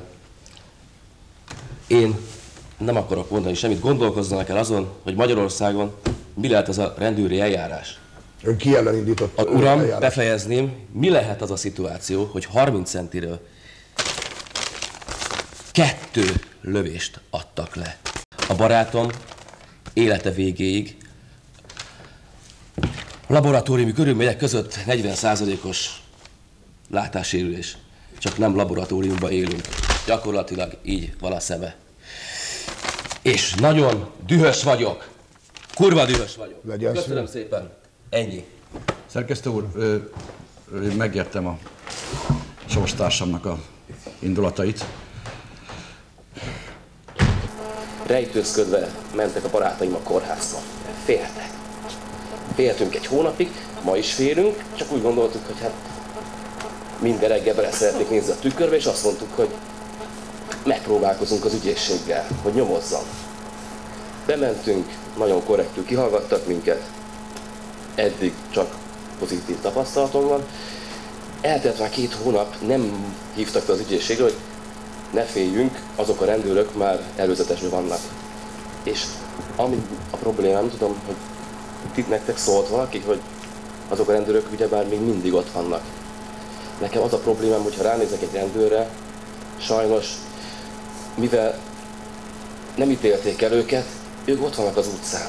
És szerintem azok, azok konkrétan beteg emberek voltak. És ők még rendőrruhában vannak. És az ügyészség, ha megfeszül, se fogja tudni meg, ha a legjobb szándékkal, a belső ellenőrzés tudja megállapítani, hogy kik voltak azok, ugyanolyan ruhába, ugyanolyan maszkkal, arc és jelzés nélküli rendőrök, nem lehet megtalálni őket. És félek, félek a rendőrségtől, mert ott vannak. Nem fogják tudni megtalálni őket. A barátomban ott van itt egy 20 darab kincstári sörét, és az a rendőr soha nem fog rásküld mögé kerülni. És erről nem a rendőr tehet. Szégyelje magát össze az összes felső vezetés, hogy a rendőröket ilyen helyzetbe hozták, hogy én az több tízezer becsületes rendőrtől kell, hogy féljek. Mert levetették velük azt, hogy a gonosz rendőrt is, és a jó rendőrt is összemosták. A nevükbe kikérem magamnak. És erről nem a rendőr tehet.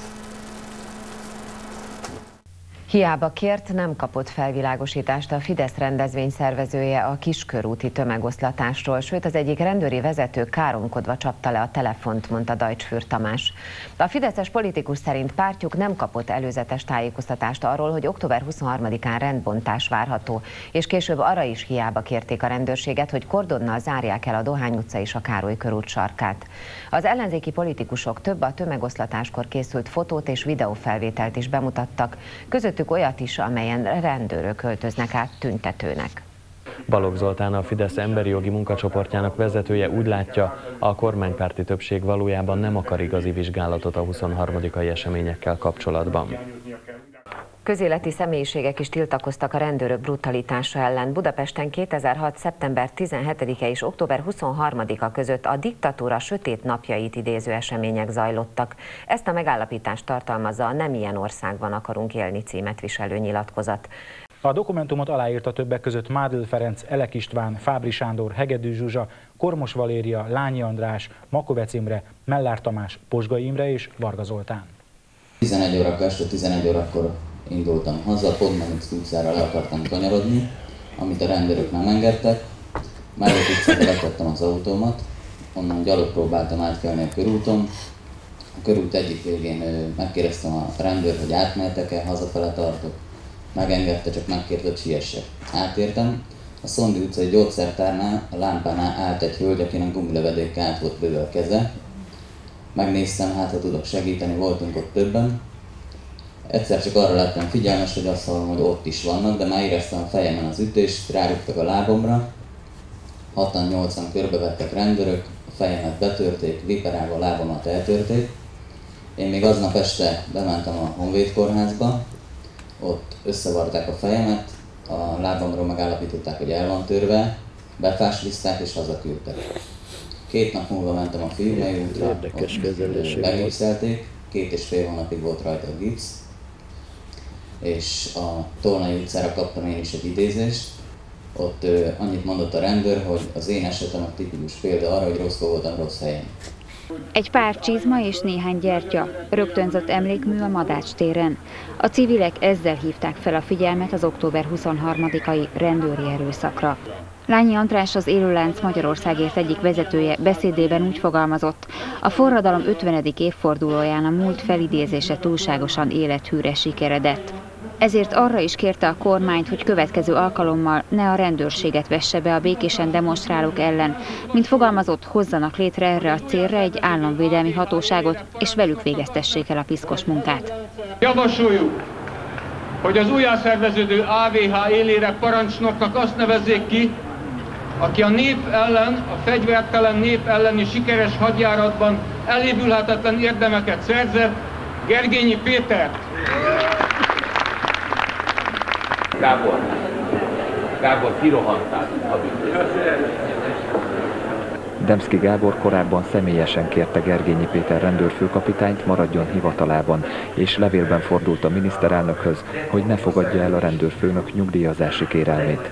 Gergényi Péter rendőrvezérőrnök részére Budapest rendőrfőkapitányaként a főváros közbiztonságának megszilárdítása érdekében végzett intenzív és innovatív munkájáért.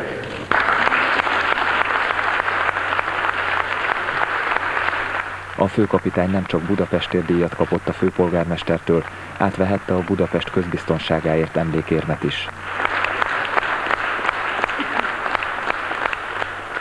Vastapsa Vas prefektusnak. A díjátadót követően azonban néhány fővárosi polgár azzal az újsággal akarta megajándékozni a kitüntetett kapitányt, amely az október 23-ai sérültek fotóit is tartalmazza. Köszönjük szépen! Az utcán pedig voltak, akik Péter Gábor díjat akartak a kapitánynak adományozni.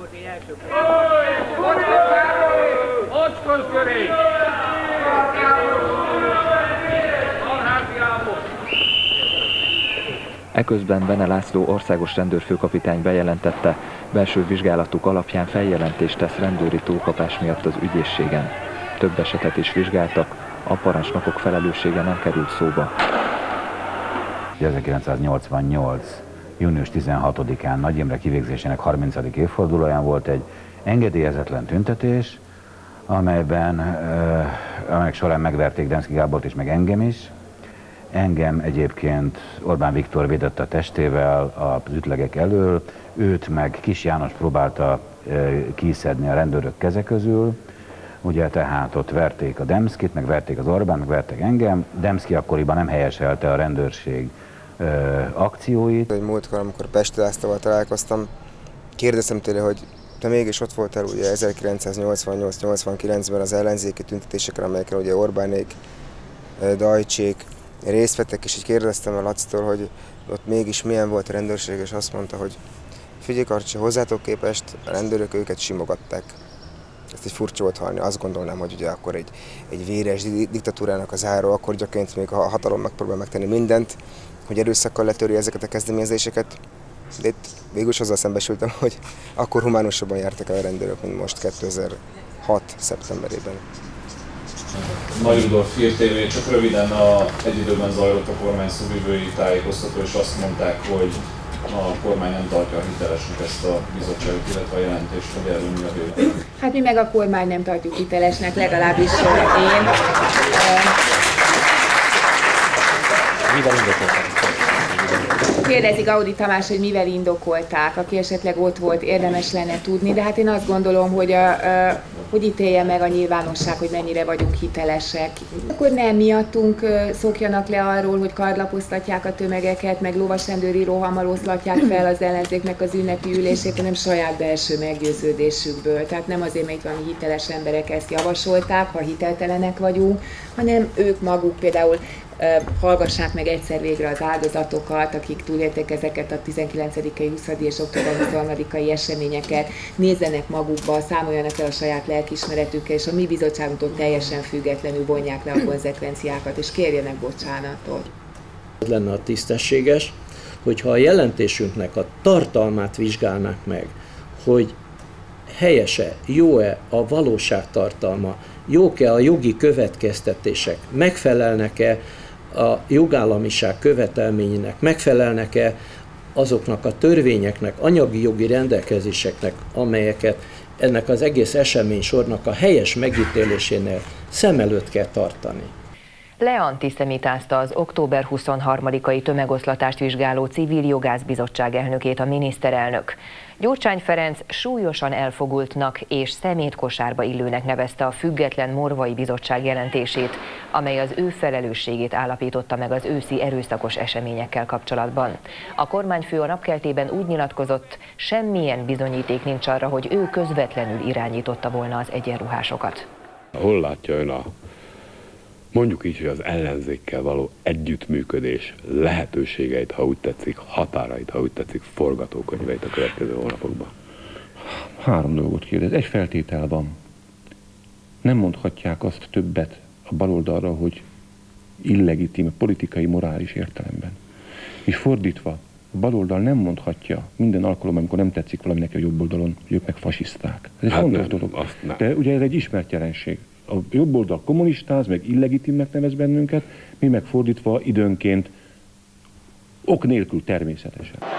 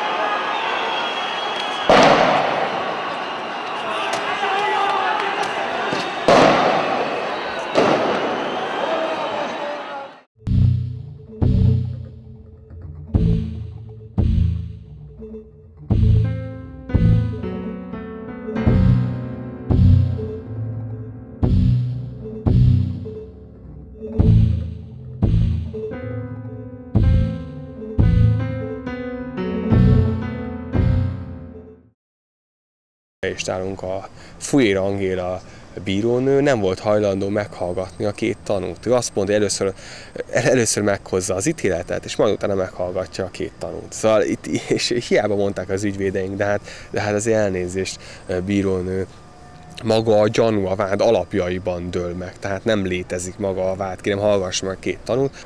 Hál' Istennek, hogy utána ez a bírónő, a ő ellen fegyelmi eljárás indult a, bíróságon, de hát ez, ez nem mentesíti őt, és sajnos nem, nem segít azokon az embereken, akik ellen ő ugyanígy, vagy, vagy az ügyészek és a bíróságok hasonló ö, ö, ö, törvénytelenségeket műveltek. Ugye, nagyon sok fiatal, vagy ö, nagyon sok fiatal esetében probléma az, hogy csak tíz rendőr van és tíz rendőr mond valamit, nyilván, hogy hazudnak a rendőrök, tehát, tehát az, az, hogyha nem képesek egy, egy normális tanúvallomást e, e, produkálni, és hogy saját maguknak ellent mondanak, akkor hát az ember csak azt vélelmezi és gondolja, hogy a rendőrök nem mondanak igazat. A brutális rendőrök felelősségre vonását több bíró szerint az egymásnak falazó egyenruhások is nehezítik. A rendőrtanúknak az egy részeit a bíróság előtt biztosan hazudott, azt nem lehet tudni, hogy melyikük. A brutális rendőrök felelősségre vonását a bíróság szerint az is nehezíti, hogy a rendőrök társaiknak falazva hamisan tanúskodnak a tárgyalásokon. Januárban két bíró is ezt állította. Takács Albert igazságügyi és rendészeti miniszter akkor azt ígérte, kikéri az Országos Igazságszolgáltatási Tanács véleményét. A fővárosi bíróság szerint az eljáró bírók csak azért nem tesznek feljelentést hamis tanúzás miatt, mert mindkét ítéletet megfellebbezték törvénytelenül vetették be a gumilövedékes fegyvereket az őszi rendőrattakok idején. Ezt állítja az a fegyverszakértői vizsgálat, amit a társaság a Szabadságjogokért elnevezésű jogvédő szervezet megrendelésére készítettek. A vadászpuskánkat ugyanis csak utólag, másfél hónappal az események után rendszeresítette Petrétei József, akkori szakminiszter. Parancsnoki hibák vezettek a véres eseményekhez a tavaly október 23-i tömegoszlatásoknál. Egyebek mellett ezt állapította meg az eredetileg belső használatra készített papjelentés. Takács Albert, az azóta leváltott Petrétei József utódja azt mondja, nem az a baj, hogy viperát használtak a rendőrök, hanem az, hogy Gergényi Péter ezt letagadta. Számtalan szakmai hiba mellett bűncselekményeket is elkövettek egyes rendőrök október 23-án a budapesti utcai zavargásokban. Például amikor megbilincselt embereket vertek meg, mondta Georg Spöttl a Fidesz frakció által szervezett Mi lesz az emberi jogokkal című tanácskozáson. A biztonsági szakértő szerint, aki engedélyezte, hogy a rendőrökön ne legyen azonosítószám és símaszkot viselhessenek, feljogosította őket arra is, hogy büntetlenül bármilyen bűncselekményt elkövessenek. Gergényi Péter, a budapesti rendőrfőkapitány nem adott egyértelmű választ. Arra a felvetésre, hogy egyetlen jelvényt sem lehetett látni az október 23-ai kormányellenes tüntetésekkor intézkedő rendőrökön, Gergényi azt válaszolta, a jelvény sokszor leesik, mert csak egy tűvel van a ruhára erősítve. Korábban Jármi Tibor, a BRFK szóvivője azt mondta, kollégáim valószínűleg azért nem volt azonosításra alkalmas jelvény, mert az utcai harcokban leszakították róluk. Azt mondják, hogy minden esetben kötelező, mert a törvény kötelezővé teszi, és hát logikus is, hogy azonosítónak kell lenni, hiszen hogy vonják utána felelősségre azt, aki... Én úgy gondolom, hogy a, amennyiben valaki bejelentést tesz a tisztelt ügyészségen, aki ki fogják vizsgálni, akkor a tisztelt ügyészség meg fogja találni annak módját, hogy adott esetben, ha valaki törvénysértést követett el, beazonosítsák. A sportoló bordatörést és számos más sérülést szenvedett. A brutális rendőröket az ügyészségi nyomozók nem tudták azonosítani. Azt mondják, a Rebis és más egységek 21 századnyi rendőrrel éppen tömegosztatást végeztek a környéken. A számításból vehető 122 rendőr közül pedig senki sem viselt azonosítót. 4,5 millió forintos kártérítésről állapodott meg peren kívül a rendőrség Nagy Lászlóval, akinek a Fidesz 2006. október 23-ai nagygyűlése után lőtték ki gumilövedékkel a szemét. A sértett feljelentésére indított büntetőügyet azért szüntették, mert, mert a környéken öt puskás rendőr is volt, és nem lehetett azonosítani az elkövetőt. Nagy László további 11 millió forintért és életjáradékért pereli a hatóságot.